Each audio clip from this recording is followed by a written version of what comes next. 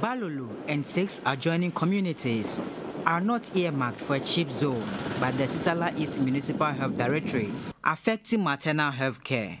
Women go through a lot, especially from conception through to childbirth, because expectant mothers do not visit the municipal hospital for antenatal services due to poor road network and long hours of commuting. At Balolo, the services of traditional birth attendants are highly sought after. Halue Kunkun has been a traditional birth attendant for more than two decades.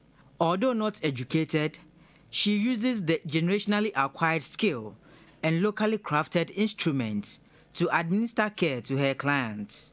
She receives between 15 and 25 pregnant women daily. She only uses one instrument to feed, to, to check whether the baby is breathing or not. That's the instrument she's only having.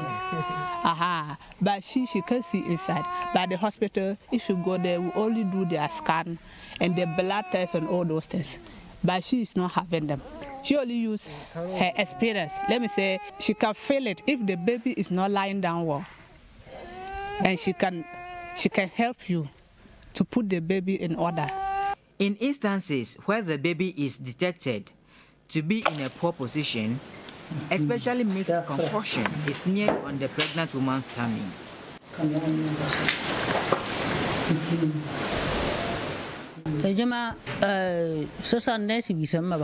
It isn't that people like coming to her, but when they come and she also looks at it, sometimes she refers them to go back to the hospital. Traditional herbal medicines to ward off evil spirits are also available upon request. She charges token for services rendered. She told the mission team that she's monitored by the Municipal Health Directorate. This 20-year-old woman is anxious to welcome her first child but has not visited the hospital since getting pregnant. There's a difference between the traditional medicine and then uh, the orthodox medicine. So sometimes you visit the hospital, what they give you, you still experience some pains at home. So that is why she has decided to come to the TBA. Others who have also come to patronize the services of the traditional birth attendants have their reservations. For, for nowadays that she's old and she's starting her best. Last two weeks or something like that, I came here, she was telling me that my pregnancy was five months. And I know it's not up to five months. Aha. So me myself, I know it's not up to five months. And she was telling me it's up to five months. You know, everybody's not perfect.